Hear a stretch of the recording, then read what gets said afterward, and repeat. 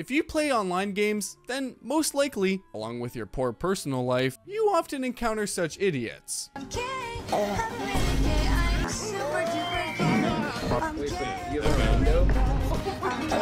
Some players do not really appreciate the philosophy of fair competition, and let's just say install certain software to enjoy guaranteed victory. And that's just the tip of the iceberg. Cheating is not just a way to bypass the grind, get free resources, or humiliate your opponent in an online game. It is also a huge shadow business. Take these games for example. If even 1% of users buy cheats for $10 a month, that brings in tens of millions of dollars. So today, we'll be taking a look at what cheats are, how they work, who creates them, and what you need to learn to create them.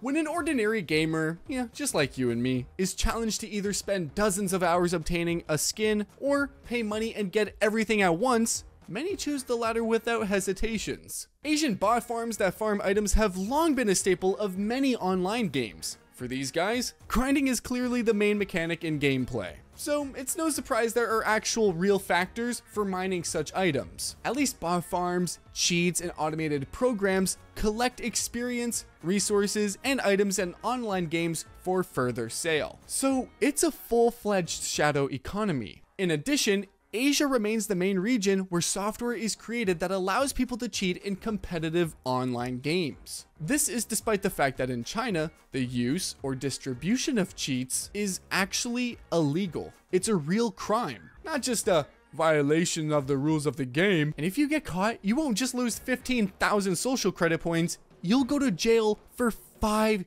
years. But who does that stop? Especially when we're talking about a multi-million dollar shadow business. So a few years ago, PUBG mobile publisher Tencent, together with the Chinese police, exposed a large gang called Chicken Drumstick. And these guys were selling cheats for online games. They were selling cheat subscriptions ranging from $10 to $200 a month and had tens of thousands of customers around the world. 10 developers, marketers, and server administrators were arrested, and a collection of expensive supercars and assets worth over $46 million were found in their office. So yes, it's a very lucrative business. The creators of cheats and owners of such bot farms are just waiting for these monotonous and boring moments in games to cash in on our desire to get something here and now, to defeat others, or simply to make the game easier. They skillfully look for loopholes in game mechanics and offer their solutions. But the only way to avoid worrying about cheats in online games is to play on your own server where you control everything. And Ping Players is the best way to help you do that. Pingplayers.com is the easiest way to launch your game server without any technical headaches. Their servers launch in literally less than a minute, and their AI assistant will do all the technical work for you. Install mods, set rules, so that you can get the exact game that you want. The ping will be stable, without lag or jumps, because they have over 20 servers around the world. This guarantees smooth gameplay even in the hottest moments. Plus, Ping Players has a huge library of games, over 25 games with new ones added every single week. They support all the hits that are currently trending. CS2, Palworld, Rust, DayZ, Ark Survival, everything you need for survival, raids, and complete madness. And the coolest thing, and I guess also the most helpful thing, is that they have a 24-7 support team that are all real gamers who created this service and know what they really need. So if you want complete control over your gaming world, follow the link down below and enter the code RADICAL35 to get a 35% discount. Ping Players. Your server, your rules, your game. Let's find out what kinds of cheats exist. Cheats can be divided into several categories. External, internal, and network. External cheats are programs that run in a separate process. I think you've heard of, or even maybe used, Cheats Engine, Art Money, and similar programs. In short, any running program works in RAM and stores the data it needs to work right now. When your character has 100 HP, that number is stored somewhere in RAM. With Cheat Engine and Art Money, you can explore the game's memory, find the address where the value you need is stored, and rewrite it. It's that easy. It's a pretty simple principle that many external cheats are based on. Working with memory is the basic principle of external cheats. But such cheats are suitable for single player games that do not require an internet connection. You just play some old GTA, enter the code for infinite weapons and infinite life, and that's it. But if that's clear, here's a question for you. How do hackers make it so that these dickheads with aimbots and wall hacks can use software that changes not only their RAM, but also all the other players on the server? Well, that's actually quite interesting. Of course, modern cheats and anti-cheat systems are much more complex than those that existed 20 years ago. Nowadays, anti-cheats monitor the system in search of external cheats and protect the game with drivers, restrict descriptors, and memory writing. This this, guys, is where internal cheats come to our aid. Such cheats are embedded in other programs, or even in the game itself, and can change the code beyond recognition. If you need to write an internal cheat for a PC game, you need to be knowledgeable about game development, game engines, programming languages, and of course, have reverse engineering skills. But what the fuck is reverse engineering? When a programmer develops a program, they write a code, which is then interpreted, compiled, and linked. In general, it turns into byte level binary meat that can only be understood by our computer or other virtual machines. The result is a finished program that we can run. The task of reverse engineering is to turn this mince back into meat, or in other words, to study how the program works and understand how it was written. Of course, programmers don't sit in front of blank byte code. They use special programs. For example, IDA allows you to easily understand how each function works. Once the hacker has figured out this mess, they start writing additional code that changes the logic of the program. For example, giving us the ability to see through walls or automatically aim. Cheats are most often written in C, C++, C#, and the code is compiled into a DLL, which is a type of file that contains a set of functions and code that can be used by different programs at the same time. In simple terms, it's like a separate library with ready-made tools that programs can access as needed, instead of each program writing this code for itself. After that, the cheat creators inject all of this directly into the game in various ways. But internal cheats also have their own protection methods, such as monitoring loaded libraries, checking digital signatures, and so on. This is essentially how various anti-cheats work. They constantly monitor, track and block third-party programs or changes in the game.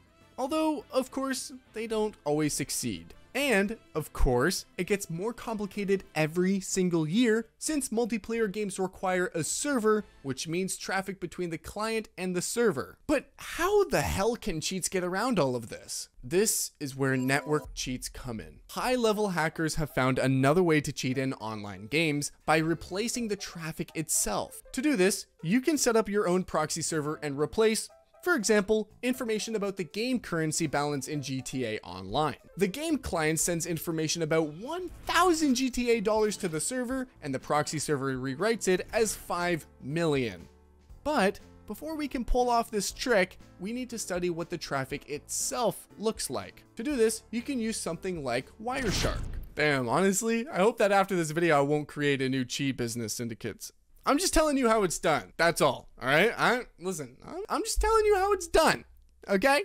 So Wireshark is an open packet analyzer. It is generally used for network troubleshooting. But some internet geniuses who rarely leave their homes and imagine themselves as the main character of the TV series I, Robot use this program to analyze and track data transmitted over the network. Hackers track all of the packets passing through the network, analyze them, and write their own proxy server for example, in JavaScript. So yes, any hacker who has access to your network can find out what the fuck you're jerking off to. But there is one big but with online games. If the game is not old, it most likely has encryption, and no proxy server will help. It simply will not understand the transmitted data. We will either have to deal with encryption, which is very difficult by the way, or go back to external and internal cheats and manipulate the game's memory again. For example, before sending data to the server, the game must collect information into a specific structure, then encrypt it and send it back. And we need to wedge ourselves into this little process and rewrite the data before it turns into this mess of characters. This can again be done with external or internal cheats, but this video is specifically dedicated to reviewing cheats in multiplayer games. And external and internal cheats will not help you in online games. Yo, I should be like, I should be a teacher right now. Give me like a fucking chalkboard and shit. I'll be writing notes for you guys take down. We can draw ourselves a large balance in GTA Online, or purchase all of the skins in Fortnite or CS2 using internal cheats, but what's the point if other players won't see it at all? Because it will only be changed on your computer, not on the game server. Therefore, such cheats will not help at all. And I will also say that you're right if you think that all of the information above is useless. So that's it from Radical Cap. Thanks for watching and see you later. Okay, come on, bro. Come on, bro. Of course I'll tell you how hackers manage to hack online games. That's what you came here for. Don't worry, I understand. So, we receive statistics from the server, such as our money, lives, enemy locations, and so on. Therefore, we need to send the same information to the server without any changes so that it doesn't suspect anything. Our game client always tells the server what actions we have taken, where we shot, and what resources we picked up. That's where we need to dig. Instead of reporting that we made one headshot, we can send information about three headshots and so on. But this is more complicated than it seems, because the server will check the messages. If we have zero money and we send the server information about buying a yacht in GTA Online, the server will check our balance before confirming the purchase and reject our request. This is called validation. But the real question is, how can we get around this? The ticking method is ideal here. And the more complex the game, the more parameters need to be checked and the more mistakes programmers make during development, so even more flaws in validation can be found. So cheaters simply spam the game with tons of requests to the server to bypass this validation and crack the game code. Of course, this takes a lot of times, so good cheats are not given away for free. And here is when the question arises. Who can play faster and more efficiently than a bot specifically configured for this purpose. In principle, you can write it in your favorite programming language, but please don't, especially if you live in China.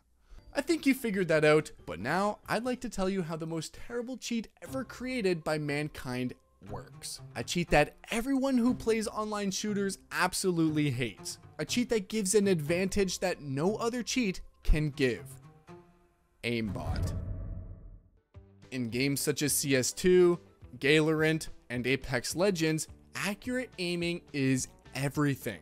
Some players spend hundreds, even thousands of hours perfecting this skill, but there are others who simply download special programs, aimbots, that do all of the work for them automatically targeting the enemy. This is, of course, unfair to honest players, but it is technologically very interesting because these bots work on the basis of complex mathematics and physics. To understand how aimbot actually works, you need to dive into the world of 3D graphics and math. I know, it sucks, but you gotta do it. In most modern games, players' positions are described by three coordinates, x, y, and z, like three dimensions that together form a shape. Imagine a three-dimensional graph where each object has its own exact location. So in order for an aimbot to target, it must know the exact location of the enemy in this space. Next, a vector is formed in the game, an imaginary arrow pointing from your character to the enemy. The vector describes not only the distance to the target, but also the direction. To calculate the necessary viewing angles, tilt, and rotation, that will help direct the character's gaze precisely at the target. The aimbot uses trigonometric functions, in particular arctangent. That's science, bitch! Using these functions, the bot calculates the angle at which to look in order to aim at the enemy. When all of the calculations are ready, these angles are recorded directly into the game's memory. Remember, we already talked about this. As a result, cheaters get instant and automatic aiming without any effort, while honest players get their asses burned. There are even mechanisms that make this process smoother and more natural so that it doesn't arouse suspicion from other players or anti-cheat systems. This combination of mathematics, computer science, and game design makes aimbots an example of how complex technologies can be applied even in the most ordinary things, such as playing video games. Although it does go against the spirit of fair play, the technical side of this process is quite deep and interesting. So, next time you see an idiot with a $10 aimbot, remember that behind it lies hours of calculations, programming, and three dimensional mathematics. And, quite often, a broken family. So, as you can see, the topic of cheating is very broad with many different approaches of varying levels of complexity. Meanwhile, the war between cheats and anti-cheat systems continue. It is constantly becoming more and more sophisticated and complicated, but one thing remains unchanged. To write cheats, you need the knowledge of programming languages, reverse engineering skills, significant knowledge of mathematics, or be Chinese. Fuck you.